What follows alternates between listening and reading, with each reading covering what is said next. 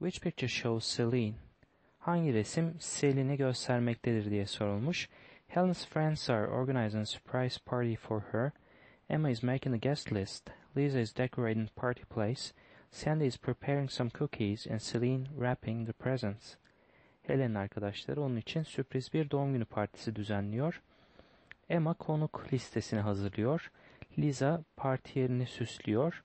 Sandy biraz kurabiye hazırlıyor ve Celine de hediyeleri paketliyor denmiş. Baktığımızda hediyeleri paketlediğinden bahsediyor Celine'in. Dolayısıyla doğru seçenek D şıkkıdır.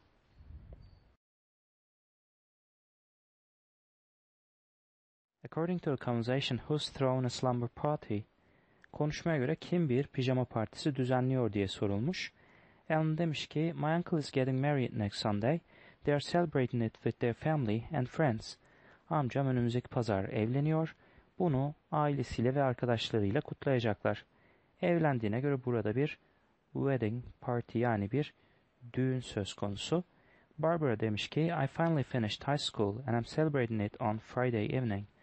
Nihayet liseyi bitirdim ve bunu cuma akşamı kutlayacağım.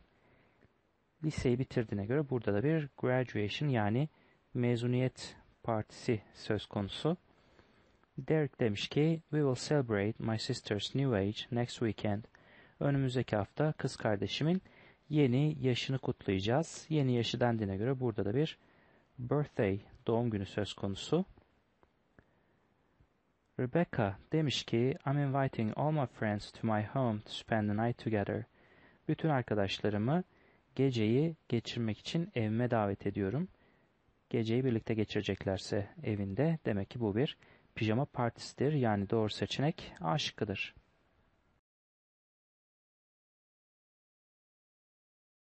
Why does Nancy write this message?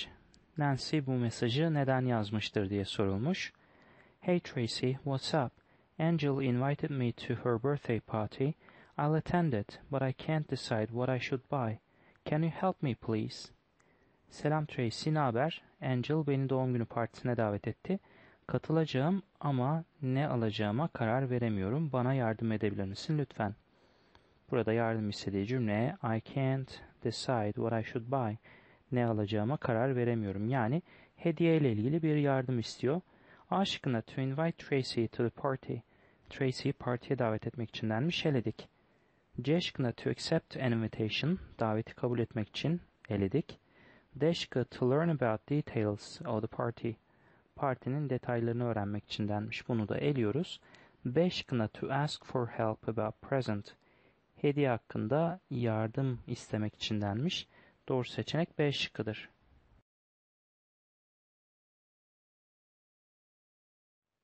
Your classmate invites you to a fancy dress party on Friday. You like this type of parties and want to go, but you have another plan that day. What do you say?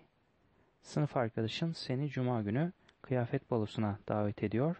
Bu tür partileri seviyorsun ve gitmek istiyorsun ama o gün başka bir planın var. Ne dersin?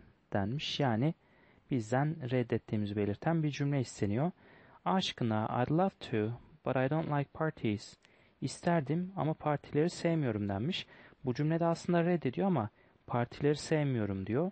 Ama metinde bu tür partileri seviyorsun ve gitmek istiyorsun denmişti. Bu yüzden A şıkkını eledik. B şıkkına why not? I'll be there on time. Neden olmasın? Vaktinde orada olacağım denmiş. Kabul ettiğini gösterir. Eledik. D şıkkı I can't refuse it. What time is it? Bunu reddedemem. Saat kaçta demiş. Yine eledik. Şıkkına nice to ask me but I've got an appointment.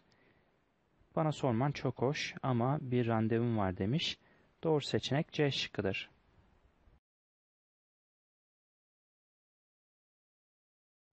Which question has no answer in the poster? Hangi sorunun yanıtı posterde yoktur diye sorulmuş. A şıkkı What time does the organization start? Organizasyon saat kaçta başlıyor diye sorulmuş. Posterin en altında sabah 9'da başlayacağını görüyoruz. B şıkkı When does the camp take place? Kamp ne zaman gerçekleşecek diye sorulmuş. 23 April 2020 23 Nisan 2020 tarihinde olduğunu görüyoruz. C şıkkı What type of organization is it? bu ne tür bir organizasyon diye sorulmuş. Baktığımızda en başta zaten Scout Camp yani bir izci kampı olduğunu görüyoruz.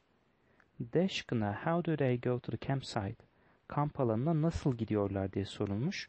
Bununla ilgili bir bilgi yok posterde bu yüzden doğru seçenek D şıkkıdır.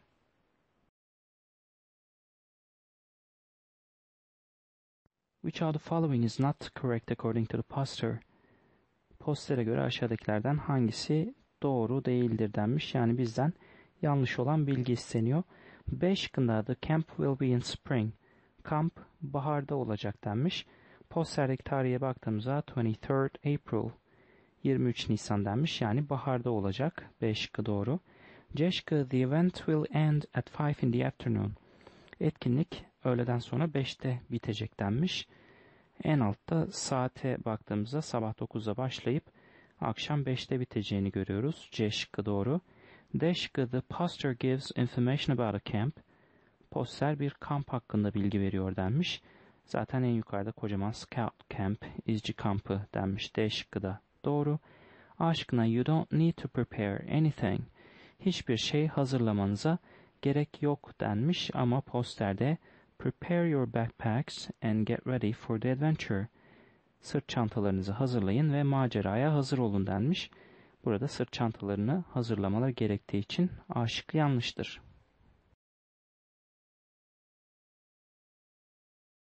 Which of the following is not related to the conversation? Aşağıdakilerden hangisi konuşma ile ilgili değildir diye sorulmuş. Bakalım. Linda ile Lucy arasında bir diyalog var. Hi Lucy, I'm organizing a birthday party for my mom, but it's a hard work. Can you help me about the arrangements? Selam Lucy, annem için bir doğum günü partisi düzenliyorum ama zor bir iş. Bana düzenlemelerde yardım edebilir misin?